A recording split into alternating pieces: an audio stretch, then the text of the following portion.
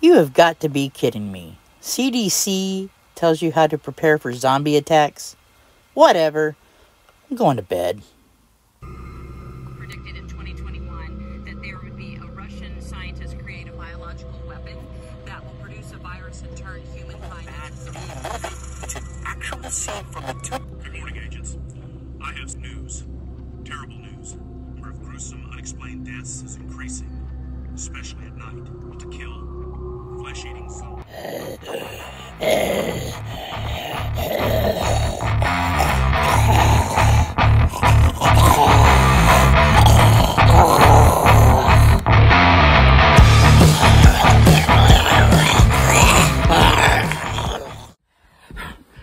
Oh god, that was just a dream.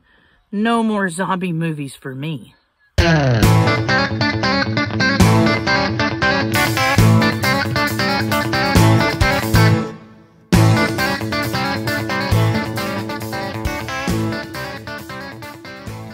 Everybody. How'd you like that little zombie clip? I thought i'd have a little fun with this video. I'm to talk about some serious stuff when it comes to prepping. There's all kinds of emergencies. No i don't really believe in zombies but you never know. Look what's going on in the world today. You never know what's to happen. Key phrase you never know what's to happen. Earthquakes tornadoes hurricanes. I mean all i mean all kinds of stuff. Natural disasters are a big thing. What if you were boondocking and you ran out of water and wouldn't start or your vehicle wouldn't start and you couldn't get to water?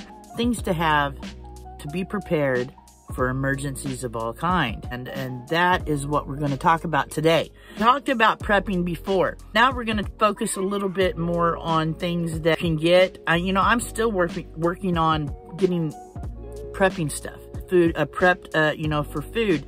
Uh, I buy a little bit every month. I put in the in the container I have. Right now, I've got close to 60 days worth of food prepped up.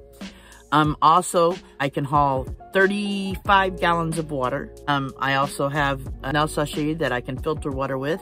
So we're going to talk a little bit about stuff like that. We're going to talk about extra things you need to have for your vehicle when you're boondocking or traveling of anything. You know, uh, emergency kits for your vehicles, uh, emergency, good to have extra fan belts, stuff like that. So we're going to talk about that in this video.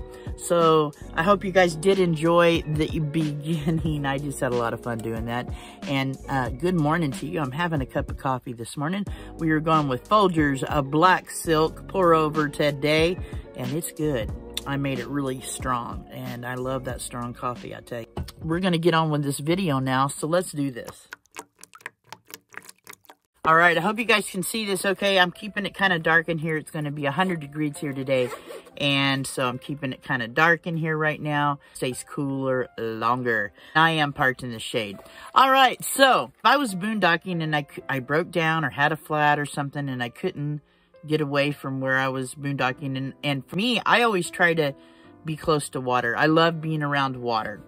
I carry 35 gallons of water, actually a little more than 35 gallons of water. I have three uh, seven gallon uh, containers that I use, and that's usually my shower water. I it, it can be drinking water. I mean, it's they're good containers, and I only put good water in them. But I usually use that for to um, take a shower or cook cooking water or whatever. And then I have a five gallon that's just drinking water. And if I'm somewhere where I can get ice, I put ice in it a lot because uh, I just like cold water. I also have some one gallon containers I keep. I was um, out boondocking and I am by some water, but I can't get out of there. I have a flat or something.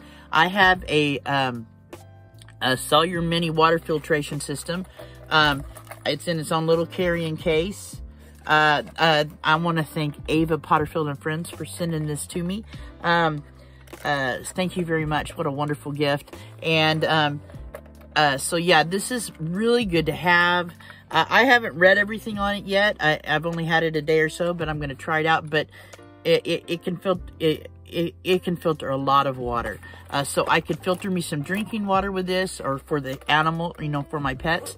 Um, so I could filter water out of a creek or wherever with this and have extra water. So seriously, think about getting one of these to keep in your van or vehicle or your RV. The mini Sawyer water system, um, you can get them on Amazon. Get the little case to keep everything in. I also have three extra pouches that go with it uh, for water. These are very cool to have. Uh, hikers use them. I mean, they're great for that. Um, very lightweight. Uh, so definitely think about getting one of these to keep in your vehicle for emergencies. Okay, so on to food. Right now, I've got almost 60 days worth of food in a plastic bin with a lid. I've put canned goods in there, um, all kinds of stuff like uh, Uncle Ben's rice packets, tuna packs, cans of tuna, peanut butter, chili. I got a box of Oxen's uh, stroganoff. Now, this is food, uh, and I, like I said, I've got almost 60 days worth. If I rationed it, I would definitely get 60 days out of it. Um, and this is food I don't eat every day. This is, you know, because one, I watch my salt and stuff, and I'm, I don't eat canned food. But, you know, if it was an emergency situation, of course I would. I'm going to show it to you guys. It's just in a big uh, plastic container with a lid. Once I get it full, I will probably have about, I'd say 90 days of food in there. Okay, I have a Bluetti solar charger. And here's my panel. It's a Bluetti 120 watt, 120 watt solar panel. I have it plugged into my Bluetti right now. It's charging at 104, 103 watts. It should, this should be fully charged in about an hour. Okay, I have a AI hour uh, 2000 watt generator at 1600 running watts my I, I can run my air conditioner on it. I can charge my house battery with it. and also charge the Bluetti with it. I can run it uh, in the day, like I said, to charge my house battery, which powers my CPAP.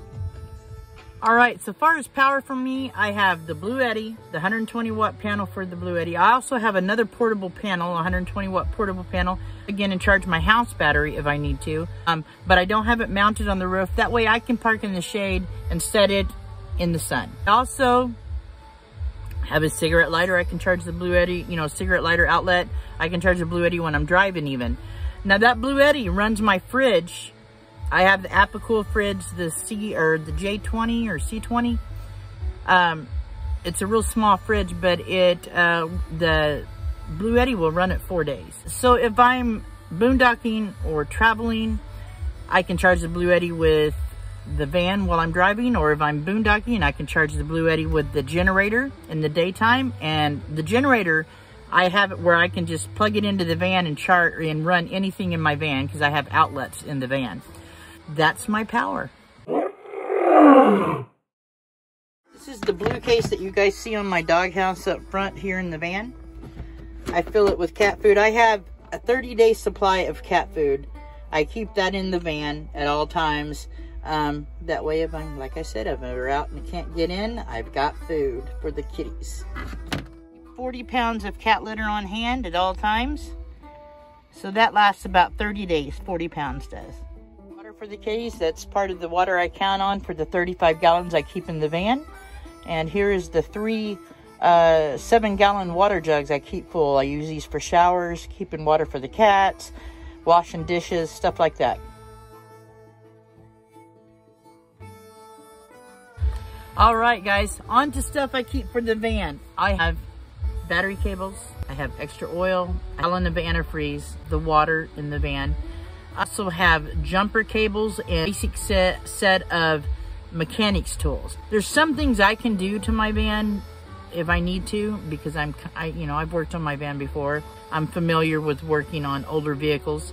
Uh, some things I can't because I can't lift some things, you know, but I've put my own starter in, my alternator, um, I have extra belts that I keep and break a belt on the road and a couple of extra hoses in case I rupture a water hose.